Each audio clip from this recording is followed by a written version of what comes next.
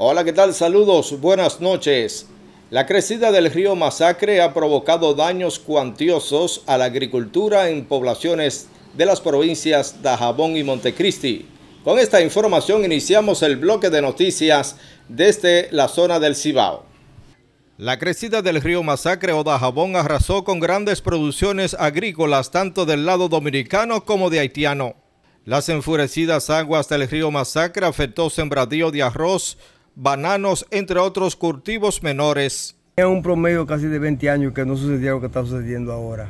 Una creciente demasiado fuerte, fuerte. Eh, hubo mucha, hay mucha pérdida entre los arroces, eh, contención del muro del río. Eh, de este lado y de aquel lado de Masacre, por donde quiera, hay mucho daño. También afectó el muro del canal que se construye en el sector La Vigía. Tapado, hay muchos arroces tapados en el lado de la finca eh, Cero, eh, la 41 está entera, no, nada, no se ve nada todavía.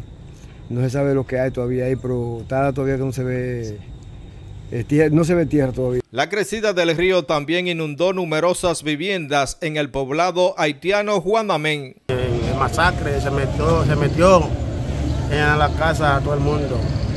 Y hoy la gente se tira agua para afuera, mucha agua, mucha agua. El río se, metió, se derrumbó todo, la vela del río, toda la casa se, está lleno de agua. Allá en, el canal para allá, en Gaya. Ah, Gaya. La información desde la frontera norte en Dajabón la sirvió el corresponsal Carlos Bueno. El colectivo de organizaciones populares de San Francisco de Macorís denunció que sectores vinculados al gobierno, con el apoyo de la Policía Nacional, intentan silenciar el llamado a huelga convocado para el lunes 28 y el martes 29 de este mes de octubre. Ayer más de 200 agentes policiales rodearon la zona donde se llevaría a cabo una rueda de prensa y una marcha de calentamiento es por parte de la policía y por orden del gobierno. Por eso militarizaron mi casa, por eso el lugar donde sale una caravana motorizada que cumple con lo que establece la ley de informarle a la gobernadora provincial. Ellos militarizan aquí para impedir que el pueblo exprese su rechazo a la política económica del gobierno, su rechazo a los apagones. Que el pueblo siga expresando su rechazo a los desalojos y demandando que cumplan con los acuerdos que han llegado con el colectivo. Región del Cibao, Moca, Nagua, Santiago, Salcedo, Bonao.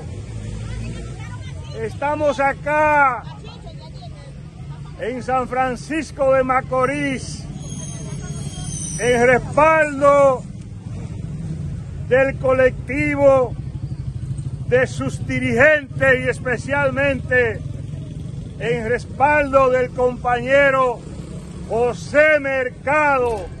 El juzgado de la instrucción de la Sala Penal del Distrito Judicial de la provincia de Jabón envió a juicio de fondo contra seis hombres implicados en el cuádruple asesinato de una familia ocurrida hace un año en la comunidad barrera de Aminilla, Distrito Municipal Partido. Los familiares de las víctimas esperan que se haga justicia con la aplicación de la pena máxima de 30 años de prisión.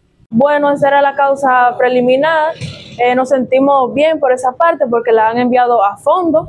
Eh, nos sentimos agradecidos. Allá se trató varios temas, los imputados se, se inculparon entre ellos mismos, dijeron muchas cosas, muchas versiones y nada Aquí estamos como familia y también vecinos siguiendo justicia, como siempre.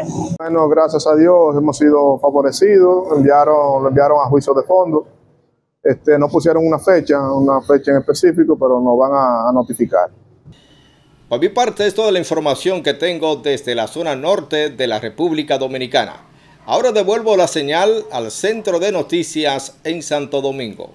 Buenas noches y feliz fin de semana.